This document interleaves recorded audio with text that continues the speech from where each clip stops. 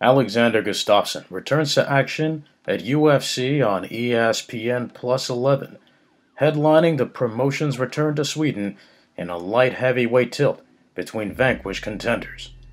Gustafsson's last fight? A disappointing third round loss to current 205 pound champion Jon Jones at UFC 232 in December of 2018. His opponent, Anthony Smith, who fell to Jones two months later at UFC 235. The fight is a chance for Gustafsson to move on from his defeat and confirm his place at the top of the light heavyweight rankings. The Mauler is currently ranked third, behind Jon Jones and Daniel Cormier, but a loss to Smith would be a huge blow to his standing.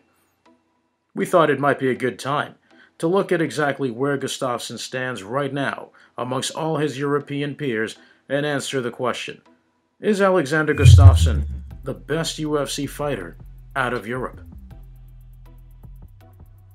It's interesting to note that Europe actually doesn't have too many fighters ranked across the UFC's top 10. The region holds 19 spots across 11 UFC divisions, and we're being as inclusive as possible when defining Europe. That means we factor in the UK and the Republic of Ireland, Russia, and the Caucasus. There's only three European fighters above Gustafsson as far as rankings go. Khabib Nurmagomedov, who holds the number one slot as lightweight champion, Valentina Shevchenko, number one and champion at women's flyweight, and Germaine de Randamie, who holds the number two ranking at women's bantamweight.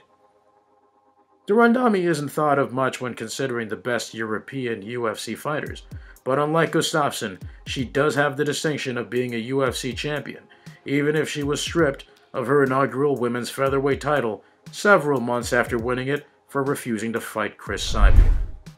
When you're factoring the belts into the equation, you can't ignore number 4 ranked Conor McGregor.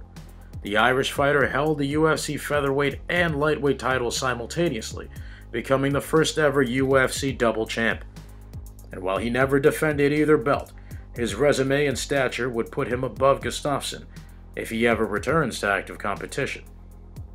We haven't seen him in the cage since losing to current 155 pound champ Khabib Nurmagomedov, whose victories over some of the toughest names in the lightweight division make him a strong contender for Best European Fighter. Another past European UFC fighter to keep in mind is Joanna Jędrzejczyk, who defended her UFC Women's Strawweight title five times over two and a half years. Ranked fourth at Women's Strawweight and fifth at Women's Flyweight, she struggled recently, going 1 and 3 since November of 2017. Her last loss was a flyweight title fight to Valentina Shevchenko, and whether you place Shevchenko above Gustafsson depends on how you consider accomplishments in the women's division, comparing to the legitimacy of Gustafsson in the tough 205 pound division.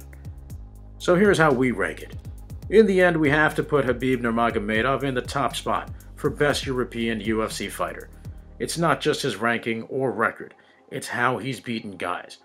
Dominance of this level hasn't been seen since George St. Pierre. Conor McGregor comes in second off his accomplishments and the ridiculous UFC run from 2013 to 2016 that made him into a superstar. He's hanging onto that spot by a thread, though. We put Gustafsson in as the third best European UFC fighter, but to really put a stamp on his position, he's going to have to become known for his big wins, not close losses. His wars against Jon Jones and Daniel Cormier prove he's undoubtedly one of the greatest fighters in the world. But results matter. Valentina Shevchenko comes in fourth for us, given her champion status, and recent show of skills against Joanna Jędrzejczyk, outclassing her handily.